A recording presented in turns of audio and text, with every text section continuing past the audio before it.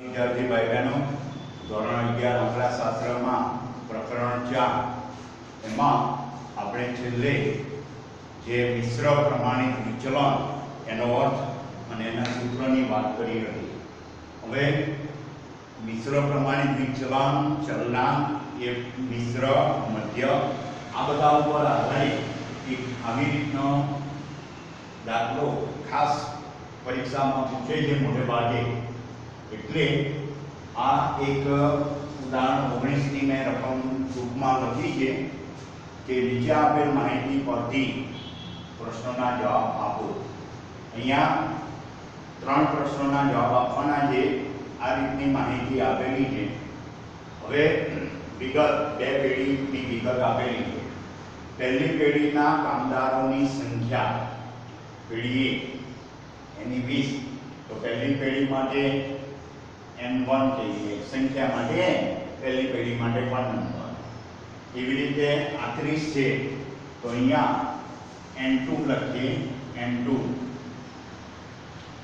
ત્રીસ સંકેત આપી દઈએ સરેરાશ વેતન એટલે સરેરાશ વેતન એટલે સરેરાશ એટલે x બાર પહેલી પેઢી માટે x બાર 1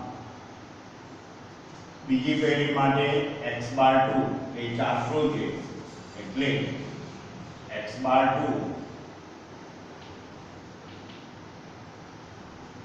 400 એવી રીતના વેતનનું પ્રમાણિત વિચલન પ્રમાણિત વિચલન s પહેલી પેઢી માટે s1 10 બીજી પેઢી માટે એનું પ્રમાણિત વિચલન 12 એને s2 સંકેત આપી દીધો આ રીતે આપણે એમના માપ આપેલા છે.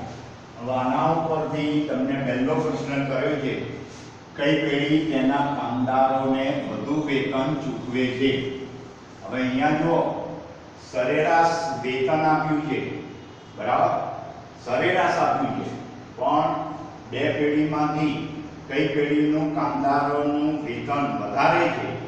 એટલે સરેરાશ અને એમની સંખ્યા એના ઉપરથી આપણે એનું કુલ વેતન શોધી કાઢવાનું બરાબર એટલે પહેલા તો પેઢી એ માટે શોધીએ પેઢી એ માટે તો મૂળ આપણું સૂત્ર શું છે x બાર 1 બરાબર સિગ્મા x1 છેદમાં n1 પહેલી પેઢી માટે તો x બાર 1 આપણને આપ્યો છે 250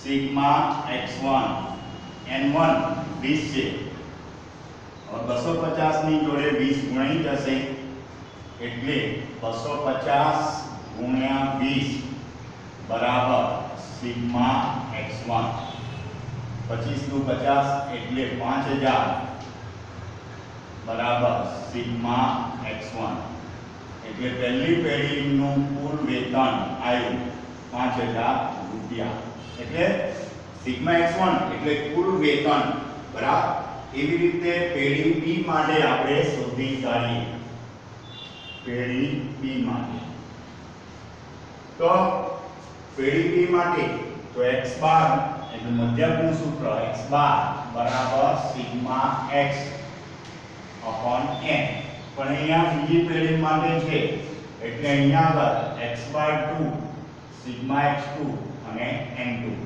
એટલે x બાર 2 બરાબર સિગ્મા x2 બરાબર? એ ખબર નથી, પણ x બાર 2 આપણને ખબર છે. X બાર 2 આપણને ખ્યાલ છે. તો x બાર 2 400 છે. 400 બરાબર? સિગ્મા x2 એ ખબર નથી. સિગ્મા x2 અને n2 n2 કેટલા? 30 તો 30 400 ની જોડે ગુણાશે 400 ગુણ્યા 30 બરાબર સિગ્મા x2 એટલે 400 અને 30 નો ગુણાકાર કરીએ તો 400 અને 30 નો ગુણાકાર બરાબર એ શું કહેવાશે સિગ્મા x2 એટલે 4 તારી 12000 બરાબર 4 તારી 12 12000 બરાબર સિગ્મા x2 હવે જો બંને પેઢી માટે સિગ્મા x1 અને સિગ્મા x2 એટલે વેતનનો કુલ સરવાળો મળી ગયો. બરાબર?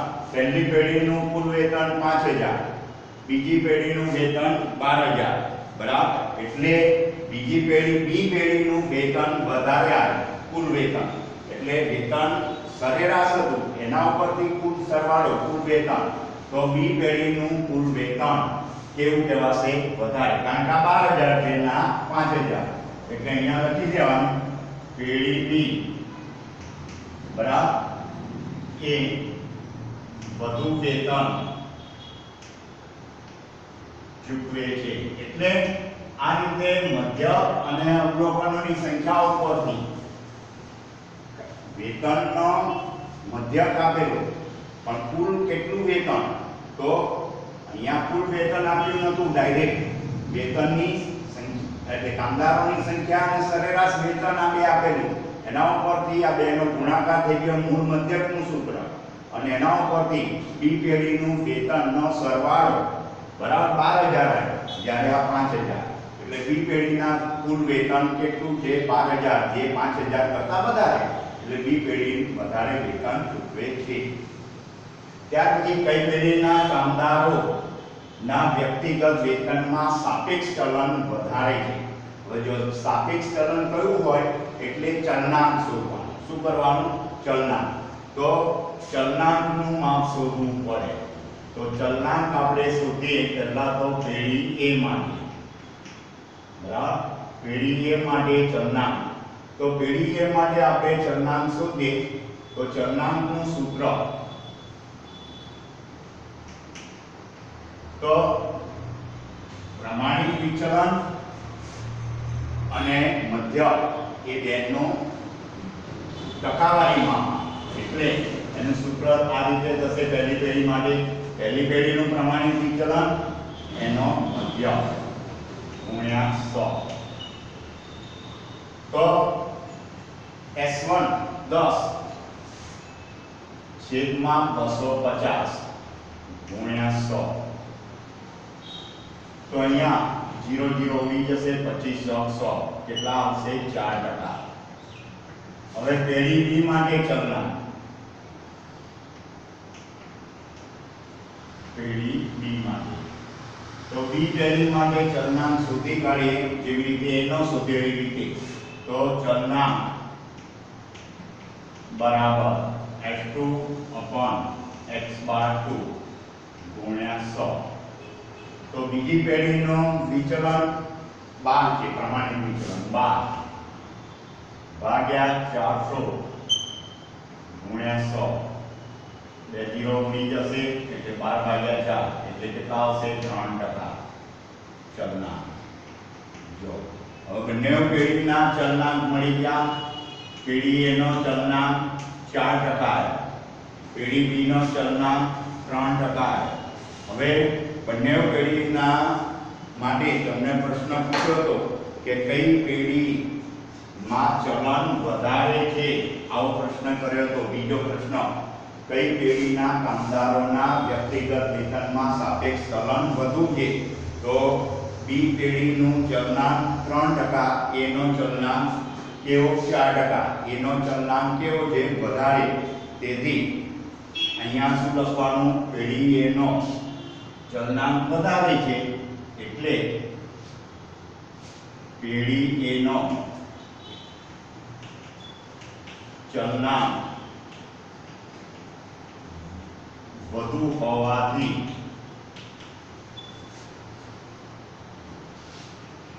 પેઢી A ના કામદારોના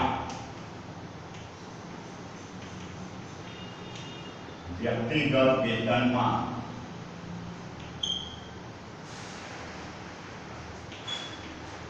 સાપેક્ષ ચલન વધુ છે.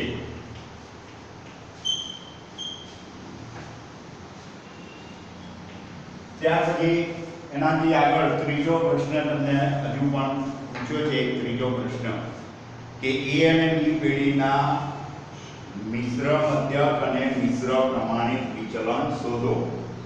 ત્રીજો પ્રશ્ન, જો આ રીતે આ ત્રણેય પ્રશ્નો ખાસ પરીક્ષામાં પૂછે છે અને બરાબર? દરેક પરીક્ષામાં મુખ્ય ભાગે પૂછાય છે. એટલે આ દાખલો, બરાબર? આમ તો મિશ્ર મધ્ય અને એ તો અગાઉ આવી ગયા છે, પણ છતાં આની સાથે છે. એટલે આપણે મિશ્ર મધ્યક અને પ્રમાણિત મિશ્ર પ્રમાણિત વિચલન એ આનું શોધી કાઢીએ તો મિશ્ર મધ્યક અને મિશ્ર પ્રમાણિત વિચલન, બરાબર? શું કહ્યું છે મિશ્ર મધ્યક અને મિશ્ર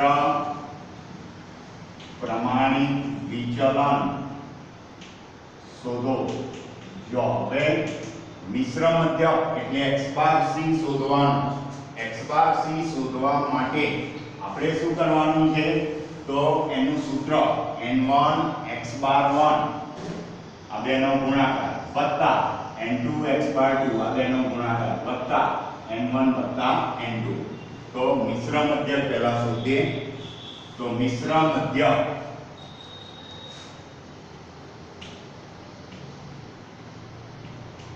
x bar c n1 x bar 1 વત્તા n2 x bar 2 છેદમાં n1 વત્તા n2 n1 20 ગુણ્યા 5000 અરે 20 ગુણ્યા 250 20 ગુણ્યા 250 વત્તા n2 30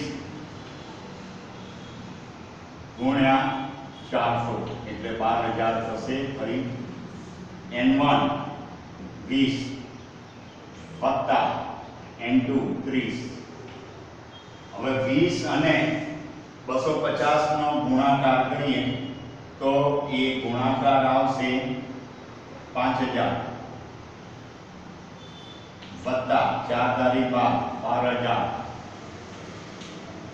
અને છેદમાં પચાસ બાર ને પાંચ સત્તર થશે એટલે બાર હજાર વત્તા પાંચ હજાર સત્તર હજાર ભાગ્યા પચાસ સત્તર હજાર ને પચાસ વડે ભાગી કાઢવાના બરાબર તો સત્તર હજાર ને પચાસ વડે ભાગીશું તો ત્રણસો ને ચાલીસ આવશે કેટલા આવશે ત્રણસો ચાલીસ ત્રણસો ચાલીસ એટલે x બાર c 340 મિશ્ર મધ્યક હવે આ મિશ્ર મધ્યક ઉપરથી આપણે મિશ્ર પ્રમાણિત વિચલન શોધવાનું છે એટલે આપણે અહીંયા આગળ તો વિચલન d1 અને d2 પહેલા શોધવા પડશે. તો d1 તો x બાર 1 ઓછા x બાર c એટલે બરાબર. x બાર 1 આપણા હતા 250 ઓછા x બાર c આવ્યા 340 આ બેની બાદબાકી કરીએ. 250 માંથી 340 એટલે માઈનસ 90 બરાબર d1 કેટલા આવશે માઈનસ 90 એટલે d1 નો જવાબ માઈનસ 90 આ ખાસ કામમાં આવશે કેવી રીતે d2 બરાબર x બાર 2 માઈનસ x બાર c x બાર 2 400 છે અને x બાર c આવ્યા 340 400 માંથી 340 બાદ કરીશું, તો 60 આવશે. એટલે d2 ની કિંમત 60 હવે આપણો જે d1 d2 s1 s2 આ બધા મળી ગયા. તો મિશ્ર પ્રમાણિત વિચલન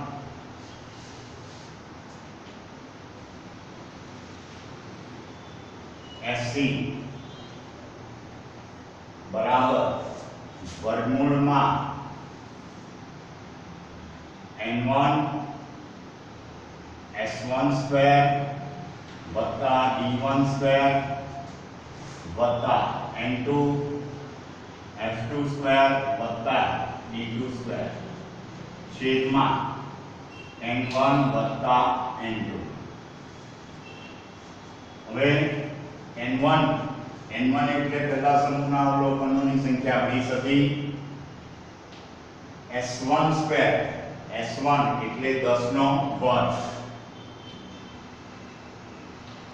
b1 એટલે -90 નો વર્ગ વત્તા n2 n2 એટલે 30 S2 S2 આપણને આપે છે 12 તો 12 નો વર્ગ D2 મેળવ્યા આપણે 60 60 નો વર્ગ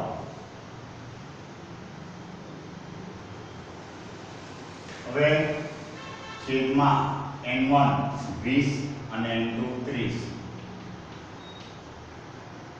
તો 20 10 નો વર્ગ 100 નવ નવ વર્ગ એક્યાસી એટલે નેવું નો વર્ગ એક્યાસી સો થશે માઇનસ નો વર્ગ પણ પ્લસમાં થઈ જશે. વત્તા ત્રીસ બાર નો વર્ગ એકસો ચુમ્માલીસ. અને સાત છ નો વર્ગ છત્રીસ સાહીઠ નો વર્ગ છત્રીસો થશે. છેદમાં પચાસ, વીસ અને ત્રીસ નો સરવાળો. તો વર્ગમૂળમાં વીસ એક્યાસીસો વત્તા સો આઠ હજાર બસો વત્તા ત્રીસ એકસો ચુમ્માલીસ અને છત્રીસોનો સરવાળો એ કરીશું બરાબર એકસો એટલે ત્રીસ વળી એનો એ કરીશું તો ત્રણ હજાર સાતસો ને ચુમ્માલીસ થશે બરાબર ભાગ્યા પચાસ હવે આઠ હજાર બસો ને વીસ વડે ગુણીશું, તો બરાબર, એક લાખ ચોસઠ હજાર થશે. એક લાખ ચોસઠ હજાર વત્તા ત્રણસો ચુમ્મોર અરે ત્રણ હજાર સાતસો ચુમ્માલીસ બરાબર? એને આપણે ત્રીસ વડે ગુણીશું, તો એ જવાબ આપશે એક લાખ બાર હજાર ત્રણસો વીસ